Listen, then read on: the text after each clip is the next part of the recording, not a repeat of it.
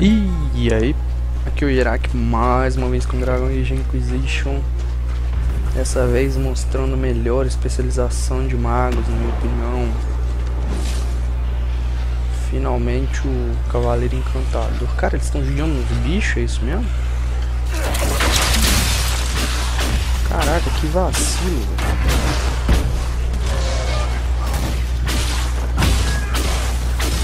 Pior de que se eu acertar o bicho uma vez, ele vira meu inimigo também, você sabe.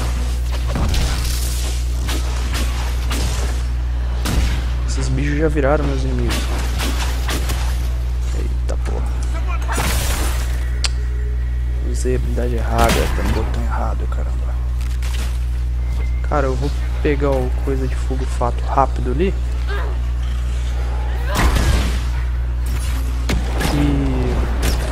Estiverem se perguntando por que deu essa explosão de fogo aí, sendo que eu usei a habilidade do. Esqueci o nome, mas aquele tiro vital. É porque. O meu arco tem uma chance de causar um dano de. causar um ataque de fogo, sacou?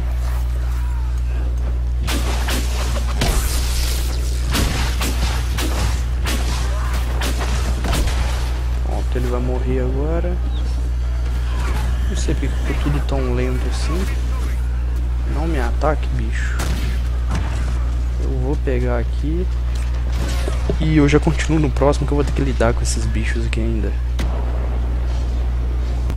Voltando aqui, eu esqueci de mostrar o lugar pra vocês, né? É aqui em Atoleiro em Culto. O primeiro que eu peguei foi aqui, ó. Uma casinha que fica nesse canto aqui. O segundo é bem aqui.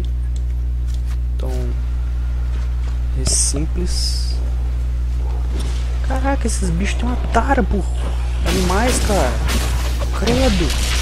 Agora estão judiando de um urso. Mas um urso menos mal ainda, né? Porque o urso sempre que vê a gente também ataca.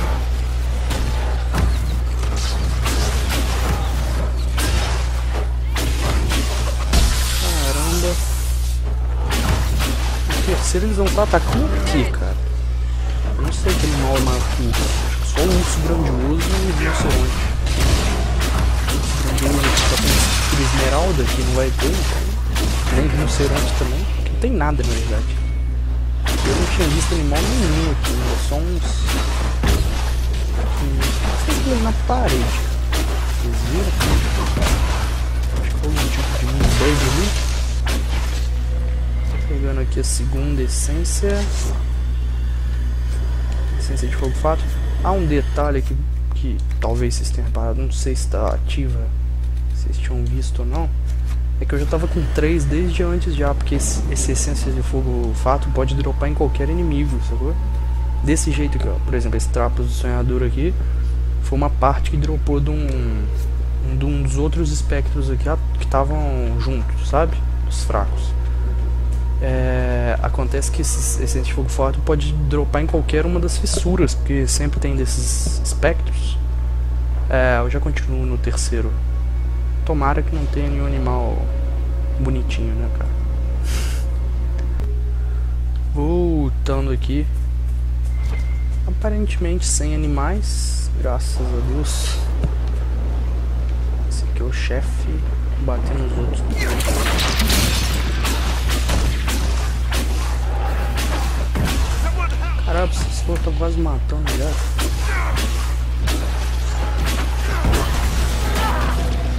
Caraca, seu fica muito frenético. Olha a quantidade de flecha passando.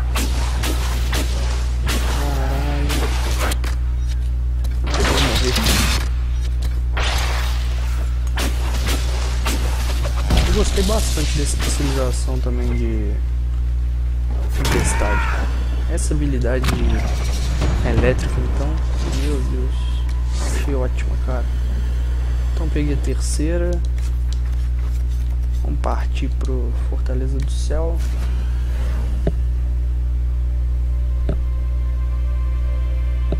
É, eu recomendo para qualquer pessoa que for pra jogar de mago aí, cara. Pegue o Cavaleiro Encantador. Principalmente se você for jogar nos níveis mais difíceis, cara. Que tá realmente difícil. No modo insano.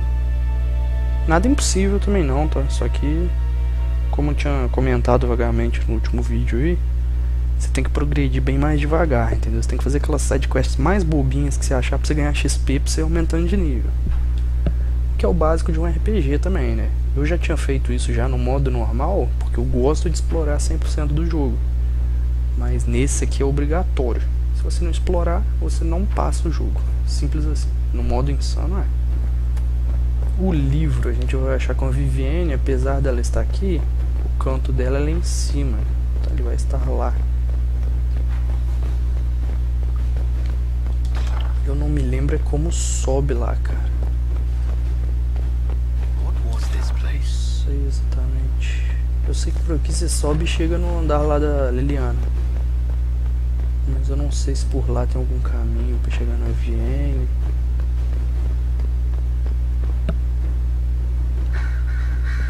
Tá, teoricamente alguma dessas portas aqui deve levar mais ou menos ali. Talvez essa aqui. Vou por cá primeiro. Ah, é aqui mesmo. Aqui mesmo. E o livro vai estar aqui. Isso, um pergaminho na verdade. Aí tem detalhes, né? Sobre como a Vivienne passou por isso. Vou ler aqui o bilhetinho para ganhar um XP. E agora a gente pode ir lá fabricar o punho da espada espiritual.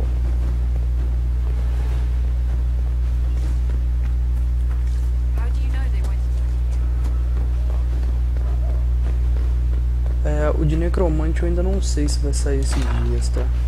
Talvez eu vou ter alguns probleminhas para gravar ele, porque eu ainda não tenho poder suficiente para explorar uma determinada área aí. Tá, aqui o punho da espada espiritual. Fabricado. Eu vou lá falar com a minha mestra, que é uma enjoada, cara. Fica pegando no meu pé que ela é minha mestra, não sei o que. Eu sou inquisidor, cara. Ninguém é meu mestre. Que coisa é essa? todo mundo aí falando com o maior respeito. Ela não, ela vem falando que eu sou um merda, praticamente. Cara, no último vídeo uma mulher morta que ela continua morta, cara. É a mesma. E agora apareceu mais uma ferida. Antes tinha uma ferida aqui, eu acho. Uma morta de cá.